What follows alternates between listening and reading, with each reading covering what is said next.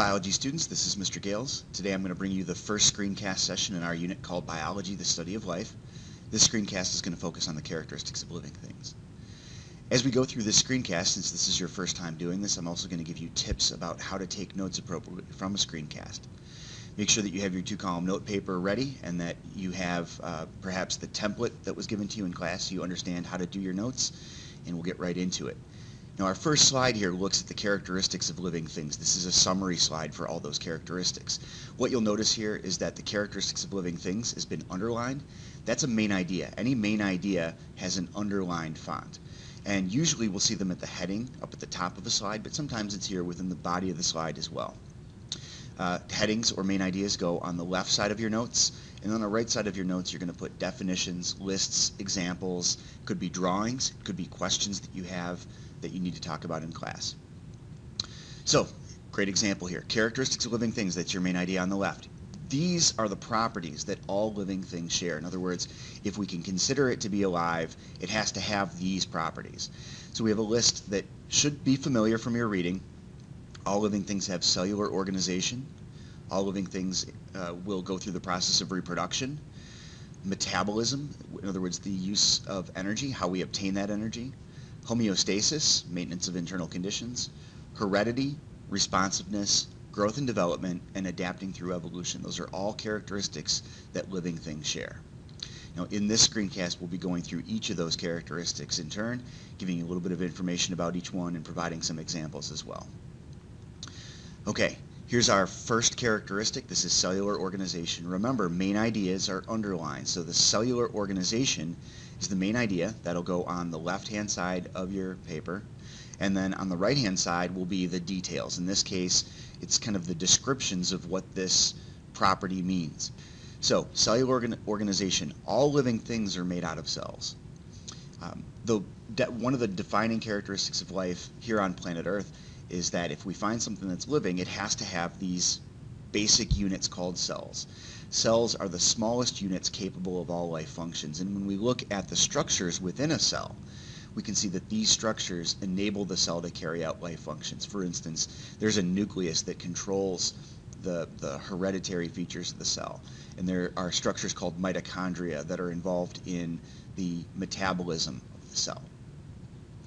Uh, now, cellular organization, we have two different major groups of organisms that we can look at. So our next main idea that relates to cellular organization is going to be unicellular organisms. And again, this will go on the left-hand side of your paper. On the right-hand side, we're going to write down definitions and examples. Unicellular organisms are organisms where the entire organism is made up of one single cell. And the examples that are most clear for students to think about are bacteria and protists. In this picture we see an electron micrograph. This is an image that's been magnified several thousand times of bacteria growing on the surface of a leaf. These bacteria are so small that there can be as many as 10 million per square centimeter on the surface of the leaf. These are organisms that their entire the, the entire organism is essentially one cell. Uh, other examples of unicellular organisms include the protists. This is an example of a protist called a paramecium. You've probably seen these under the microscope. These live in pond water. This is a single-celled organism, a little bit different from a bacterial cell in that it contains a nucleus. Now, other kinds of organisms in terms of their cellular uh, structure are multicellular organisms. Multicellular organisms are organisms made up of many cells. And what you should be thinking about here, the next main idea, multicellular organisms goes on the left, and then your supporting information goes on the right. Uh, okay, so we talked about multicellular organisms as are organisms made up of many cells. An example here is this plant. This is a fern. You've probably seen ferns out in nature before. Um, when we drill down, if we were to use a, a microscope and look more closely at the leaf of a fern, what we would see is that fern is made up of these individual units called cells.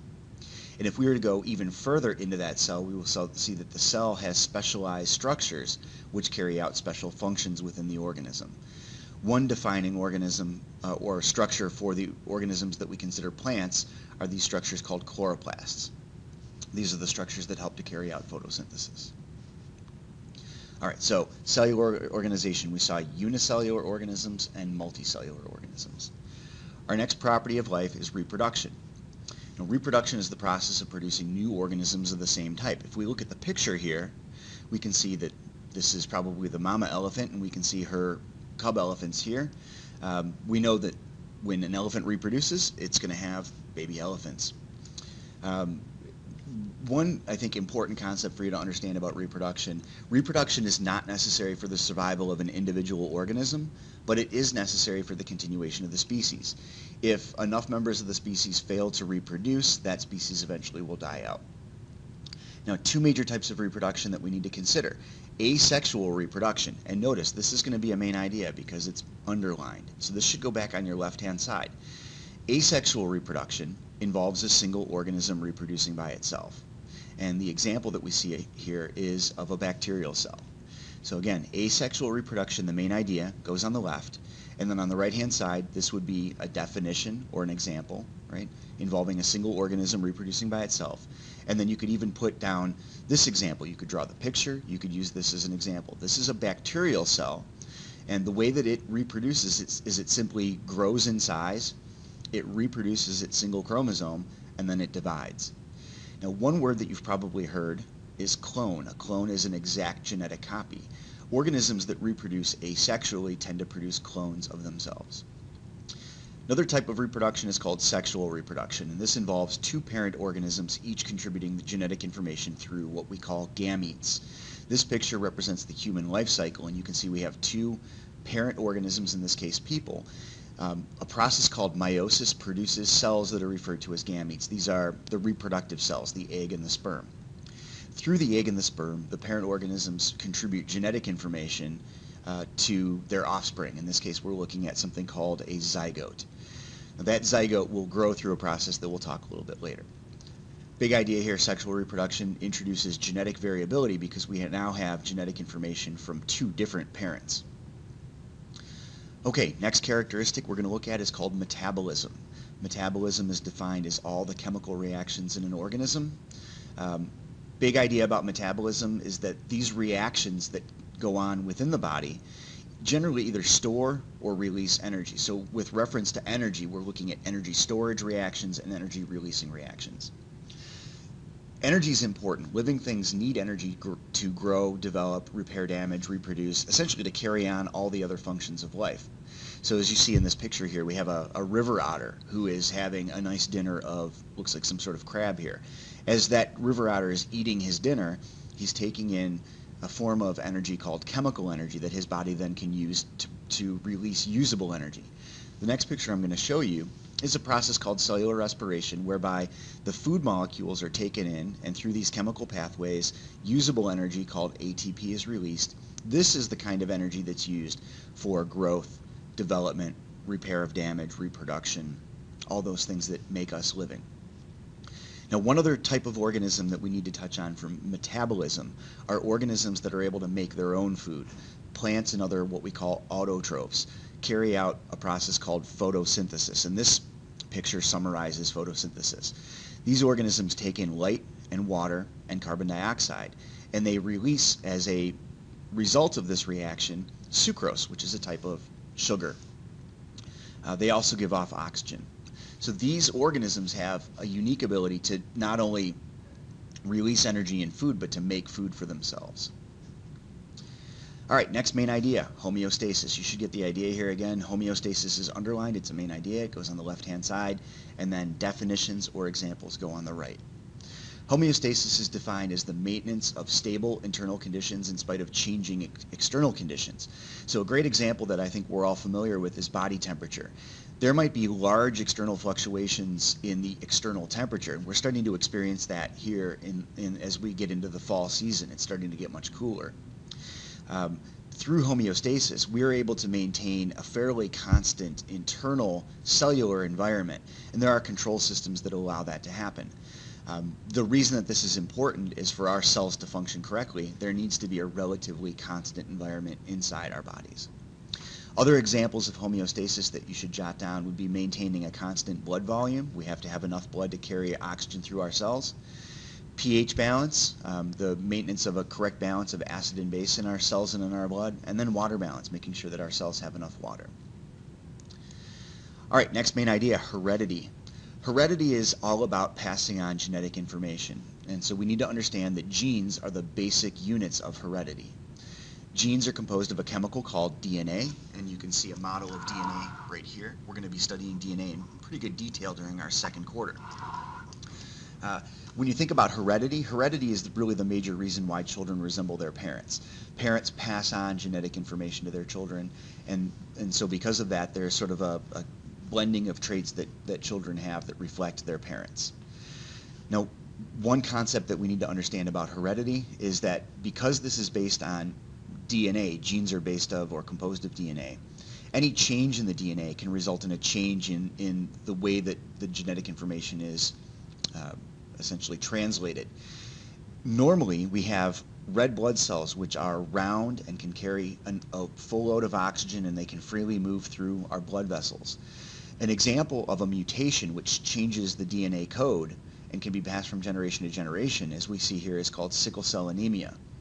Sickle cell anemia is where the proteins that form the red blood cells are misshapen, and therefore the cells themselves are misshapen. They carry less oxygen, and as you can see here, they can get trapped in those blood vessels. This usually leads to a fair amount of um, fatigue and even pain. Uh, heredity will be a major focus for us throughout the year in biology. All right, responsiveness. This is our next main idea. This will go on the left-hand side, and then examples again go on the right-hand side. Responsiveness is the idea that organisms react to external stimulus. And you should understand that a st stimulus is anything that causes a response. In this picture, you might notice that this plant seems to be growing in one direction. Can you guess what the stimulus is here? If you guess that this plant is growing towards the sunlight, you're absolutely correct. This is something that's called heliotropism. Helio is the sun, tropism is growth.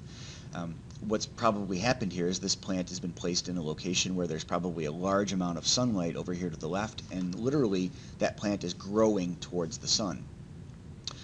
Another great example of responsiveness is when our body gets cold, right? If it's very cold outside, our nerves um, are able to sense that, send signals to our brain, and our brain then sends signals to the muscles, which trigger us to shiver. That shivering is producing friction between muscle cells, and it's producing heat, which warms our body temperature back up.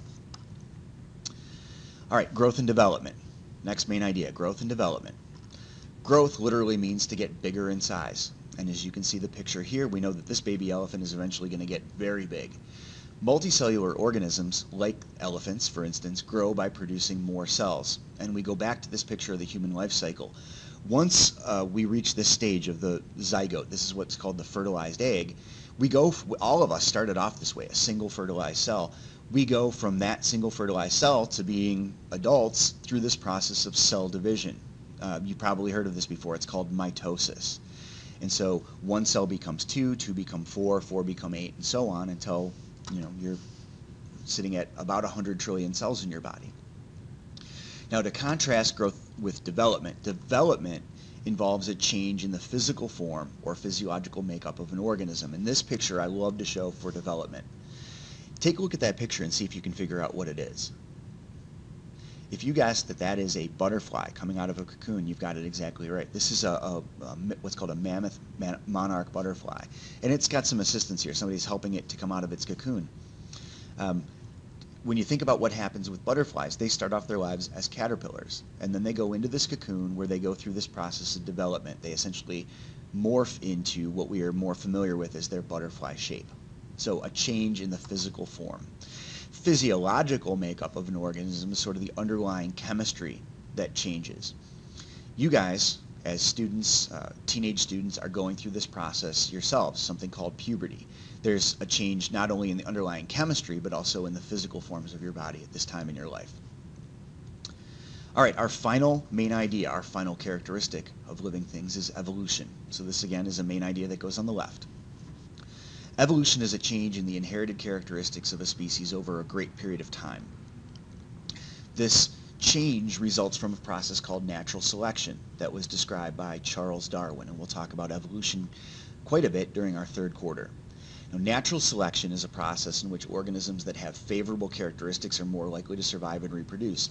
These characteristics don't come from nowhere. They are genetically based and they usually result from small changes in genes from generation to generation, generally either mutations in the genes or genetic recombinations. The picture that we see here is of an owl butterfly, and we talked about the owl butterfly in class. You can clearly see here the patches on the wings that resemble owl eyes. Um, the reason that this is beneficial and makes this butterfly more likely to survive and then reproduce is that it's probably going to scare off predators who think it would be an owl. Another great example of natural selection uh, helps us to understand where our modern giraffe with the really, really long necks would come from. If we go back to the ancestral population of giraffes, we would probably see that that population had some giraffes with shorter necks and some with longer necks. And as the vegetation that the giraffes fed on changed over time and the trees maybe got, the vegetation was a little bit higher up in trees, those giraffes with longer necks those are favorable characteristics. They're more likely to get more food and have more energy and therefore be more likely to survive and reproduce. All right, so that's a quick look at the characteristics of living things with definitions and examples. Um, I would encourage you to go back over this screencast again before we take our exam and give you a chance to uh, think about the information one more time. And if you've got any questions as you went through your screencast, you need to make sure that you ask those questions in class as we have our discussions. All right, so this has been Mr. Gales talking to you about the characteristics of living things. We'll see you in biology class.